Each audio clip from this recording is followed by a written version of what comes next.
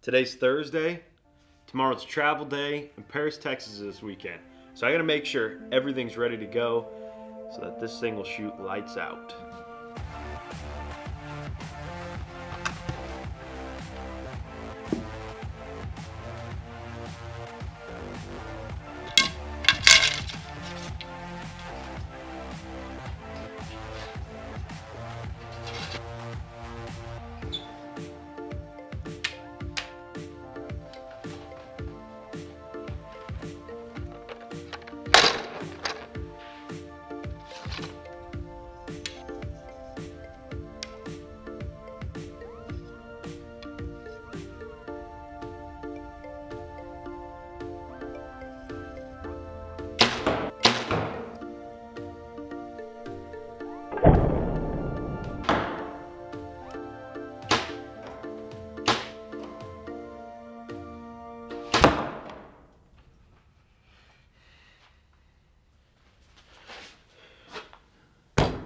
So this is my Texas setup, shooting 69 pounds on a Bowtech Fanatic. I'm shooting an X cutter. They're right around 425 with 160 grains in the nose, blazer vane, the AccuLite nock or whatever Gold Tip calls it. Bee Stinger competitor bars, 15 incher with like 21 or 22 ounces off the back, 4 ounces on the front of a 32 inch bar.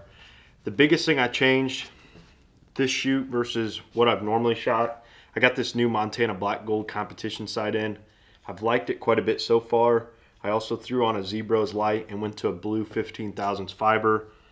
I've got a four power lens and a 0.5 clarifier from Specialty Archery. I've been really thinking about going to the new Hamskea Peep, so that's the setup. Shooting 282 feet per second. I'm shooting open B. It's a 45 yard class, half known, half unknown. I'll get into that a little more once I get there, but it's shooting good and I'm feeling pretty good about it. She's all packed up. Lord willing, tomorrow morning about 4 a.m., Lauren and I will be headed down to Texas with our buddies CJ and Travis.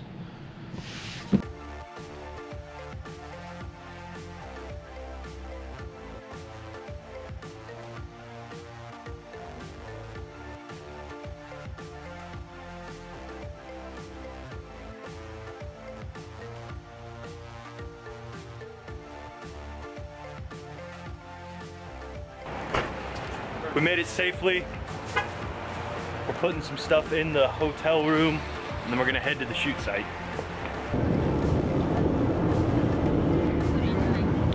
Recording. I look pale. Yeah, I know, me too, look. It's easily adjusted, it's just wiped out. Everything's just a dog. It's just well. So we got our clothes and stuff in the hotel and we are headed to the shoot site now. Today we're probably just gonna get registered. Might not even get the bows out because the weather's so crappy, but we might. We'll see what happens.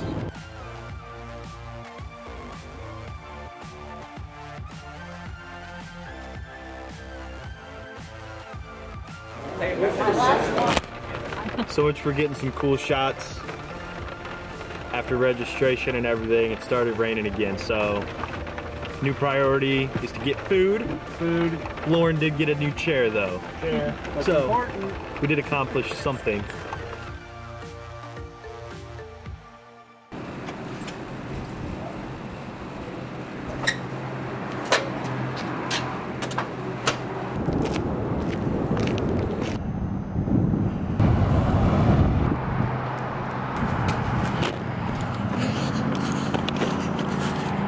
Kind of chilly this morning.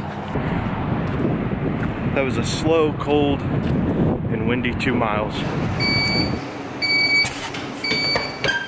Probably right after you had a five hour interview.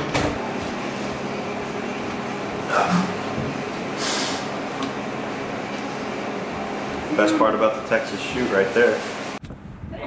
Bless you. ASA Archery Life Pack number 371.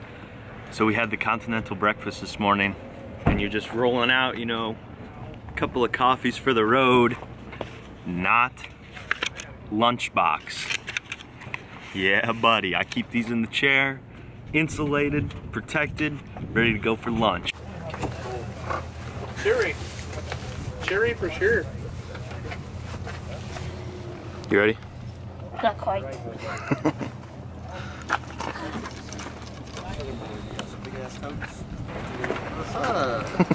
So it's day one, and Lauren and I shoot at 11:30,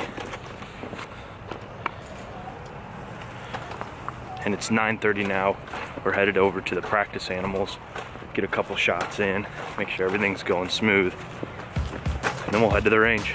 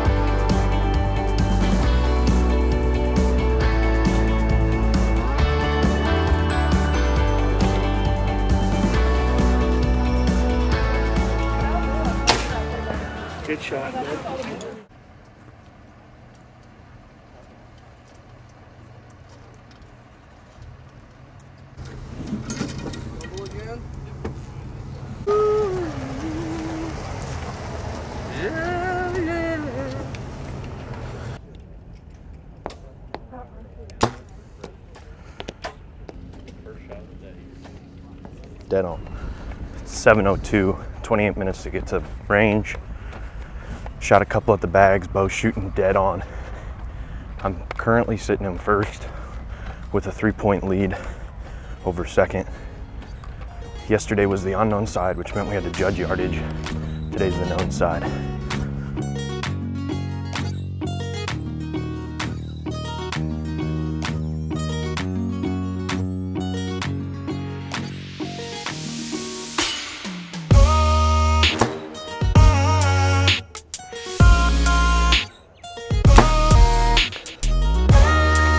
嘿 嘿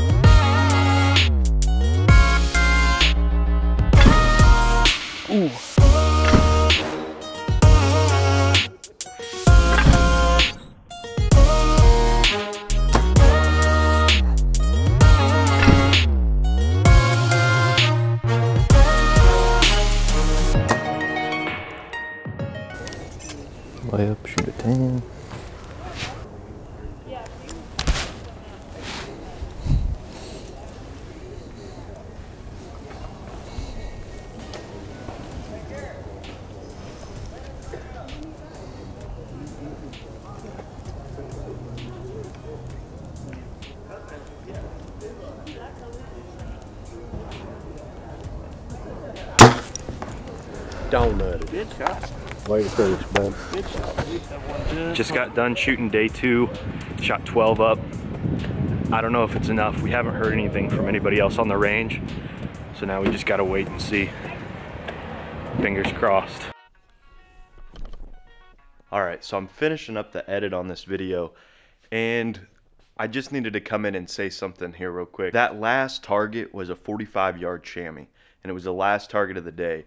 I knew I was sitting at 10 up, which in my head I didn't think was going to be even close. I thought for sure someone would come in and shoot like a 20, 24 up on that course. I had been in and out of a whole bunch of them. And when I say that, I mean like it was either a 12 or an 8, and I was kind of going back and forth. And that last target was max distance.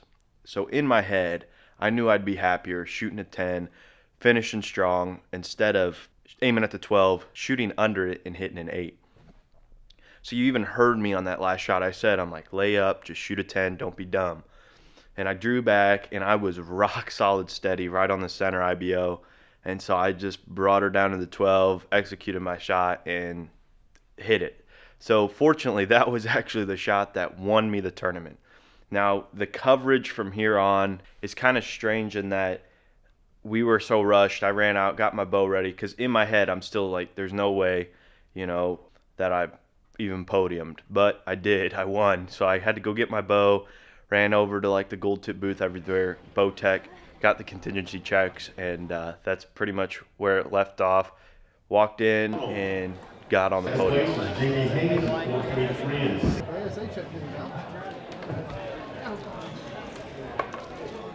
And that was that was awesome. That was my first podium at an ASA event, and I won the Texas event, which is the one to win because you win the buckle, and uh, it was super exciting. We got a couple more of these types of tournaments that we're going to be going to.